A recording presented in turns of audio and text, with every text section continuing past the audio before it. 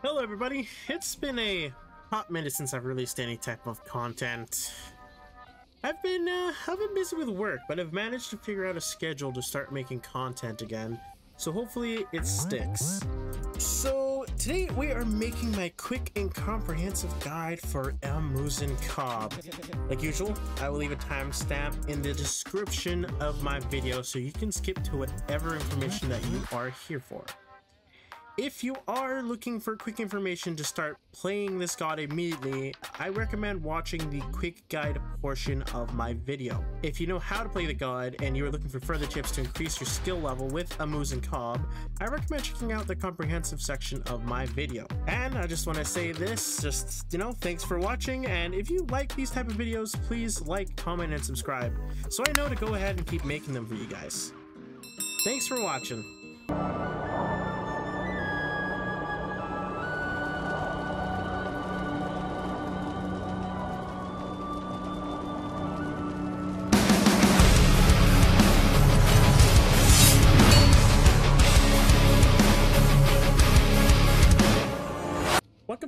Guide for Amusing Cobb. If you're looking to get some quick information to know the basics of this god, this section of my video is totally for you. We're going to start with his abilities, and then I'm going to go over one quick combo to initiate and another combo to disengage your target. And then we're just going to send you off uh, to the battlegrounds. This should be enough information to get you through your first couple of matches without getting stomped. And if you want some more information, uh, because you like the character, uh, you can come back and watch the comprehensive guide if you want to know more, or you can just simply take the basics and just kind of build uh, build on it on your own. Cab's passive is called Bees. When you land an ability on an enemy god, they are infected by bees and take dot damage for a couple of seconds. Cab's first ability is Hive.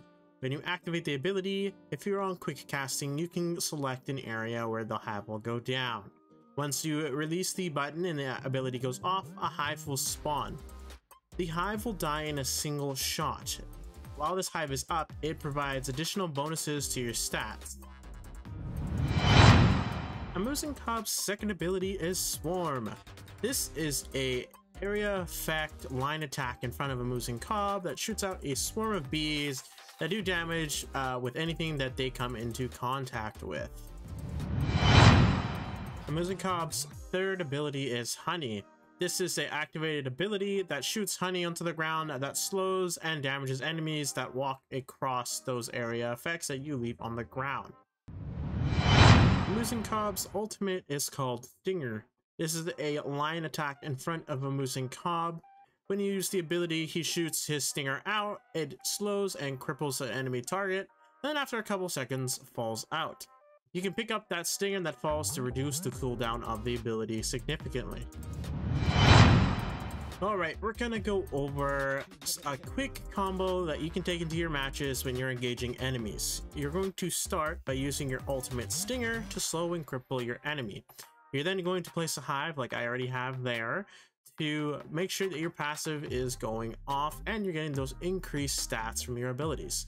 You're then going to use Swarm, your second ability, to apply further damage to your enemy, and then use Honey in the direction that they're fleeing or where they're standing to do dot damage per second.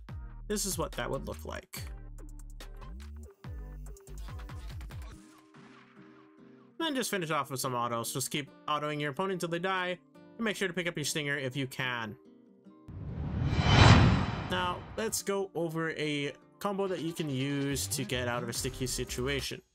So if someone is chasing you and you need to get away, obviously first start by putting your hive down. One of its added benefits is that it's giving you additional movement speed. Continue going, turn around, if you have your ultimate, use it and hit them with it. That will slow and cripple them. And then put your honey down in a line in front of you so people have to walk around that or you can turn around and shoot the honey at them to further slow them.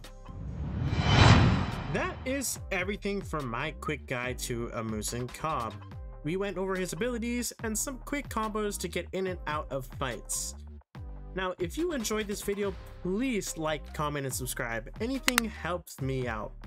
If you are sticking around, my comprehensive guide will start very shortly here. And thank you for watching. Welcome to my comprehensive guide for Muzen Cab. I'll be going over each of his abilities, including the various stats. Uh, I'll be going over various combos to start and flee from battles, the do's and don'ts with him, and leveling order. I will also explain various tricks with the god's abilities. Thank you for taking a look at my video, and let's start with his abilities. Muzen Cab's passive is called Bees. Basically, your abilities, your second and third ability, will attach a swarm of bees to the affected god. They will be taking damage every 0.5 seconds for about 2 seconds. This will last longer if you're hitting the enemy with auto attacks, refreshing to 2 seconds of each auto that you land. So if you're con consecutively hitting somebody, I'll show you right here, the swarm of bees will persist as you're autoing them and will not go away. As you can see, it's there. Just swarming them and after a couple seconds, vanishes. Muzen Cab's first ability is Hive. This is a ground targeted ability around Muzen Cab. When you activate this ability, a hive spawns. As you can see, I've got a couple of them over there. So when I activate ability, the hive goes off and comes out of the ground. Now you're going to see this giant radius around you. That is the radius in which this hive is giving you the additional buffs that it is that it has. So it is giving you healing per second, movement speed, and attack speed when you're in that radius. You can have seven of these hives out at a time. When you have put down your eighth hive, the oldest or the first hive that you put down will disappear. It will just die and disappear, as you can see there. I place another one down, that one will go. Additionally, enemy gods can take your hives out with a single auto attack. Abilities don't affect them, so usually when you're in your matches, try to place them behind walls or behind your tower to make it a lot harder for your enemy to be able to reach them. The stats for Hive are 4 at level 1 and then 12 at max rank. The movement speed is 10 at rank 1 and then 30 at max rank. The attack speed is 10 at rank 1 and then 50 at max rank.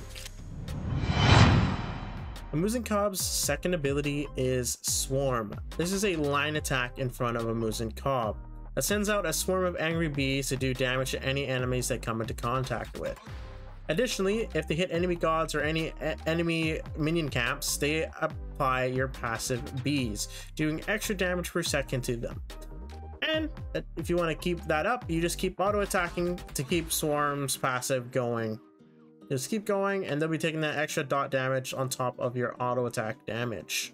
Let's take a look at the stats for Swarm. You have 60 damage at rank 1 and then 260 damage at max rank with additional physical power scaling. Muzen Cab's third ability is Honey. This is a ground targeted, uh, I guess you could say line drawing ability uh, if you're choosing when you activate the ability. So when you use honey, you will instantly, you can just basically draw this little radius of honey on the ground. Uh, they slow any enemies that are in that radius. So if I use it here on this Odin, you can see that he is slowed down when he is standing in that radius and then it persists for a couple seconds even after he exits the honey pools. Additionally, if you have a hive up and use honey within the radius of hive, it also applies angry bees to those area effects. They're now going to be doing oh. damage per second and then applying your passive bees to them. So even when they exit the pools, the passive is still persisting for the two seconds afterwards. A nice little trick that you can do with these hives and honey say your enemy is running out of this radius that you can see on the ground and you want to be able to get you know even your damage off if you start your first pull within the radius the bees will actually connect all of the other honey pools that you put out outside of the radius here let's demonstrate that here you can see that as long as the first one is touching, the rest of them will get the angry swarm of bees. The stats for Hive are 13 damage at rank 1 and then 61 damage at max rank with 50 uh, F50 with additional physical power scaling. The slow is a 20% movement speed reduction. A Cab's ultimate is Stinger. This is a line attack in front of a Muzen Cab. When you activate the ability, a Muzen Cab shoots out his Stinger, slowing, crippling, and damaging the enemy god. You also reduce their physical protections for, I believe it's 2 seconds. I could be wrong on that, but I'll go over that in stats. So this is what that looks like. Boom. Additionally, when you use the ability, if the enemy god dies, the Stinger will drop. If not, after a couple of seconds, the stinger will drop on the ground for about 4 seconds, which then can be picked up to reduce the cooldown significantly of stinger. So if you can, try to pick that stinger up whenever it is safe to do so, or if you've got a clean kill. Well, I'll show you. Never mind, I'm not going to show you. I just missed. I just missed. The stats for Stinger are 275 at rank 1 and then 595 at max rank with additional physical power scaling. The slow movement reduction is 20%. The physical protection reduction is 20% and the retrieval of the Stinger cooldown reduction is 80%. And if I just quickly look up above here, um, it is three seconds. It, persists for three seconds here. Taking a look at some of the combos here. Muzen bread and butter, like the main way most of Muzen players are going to initiate most of their fights. You're going to start by using Stinger, your ultimate, landing it and hitting your enemy opponent. Then quickly using Swarm, and then almost instantaneously, you have to be really quick about this. You want to put a hive down. Then you're going to put honey in the direction that they are fleeing or where they're staying to fight you, and then continue with auto attacks. This is what that looks like.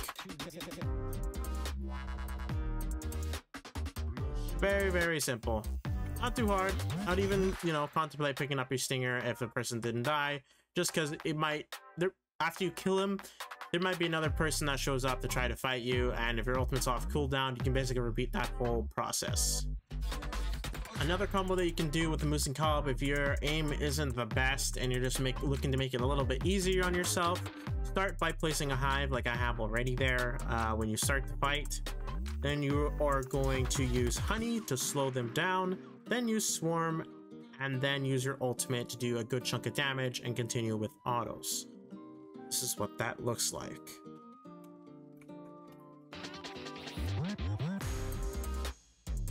Very, very simple.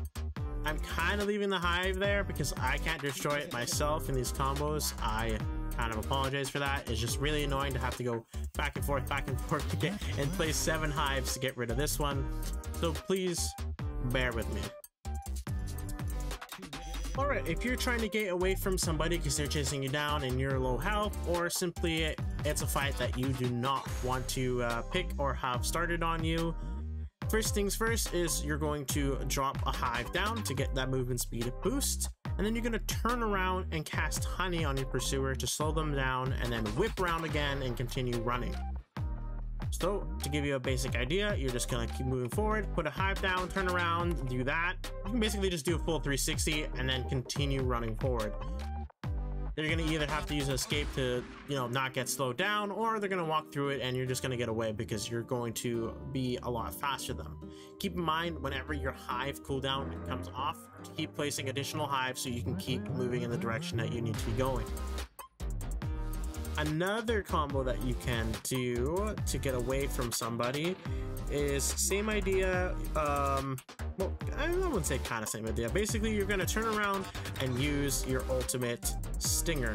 This is gonna uh, cripple them, making it so they can't use their escape to chase you.